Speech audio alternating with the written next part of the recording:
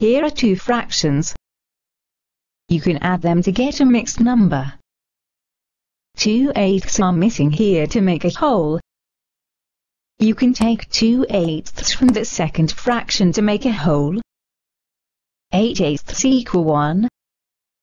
That means you get 1 and 2 eighths.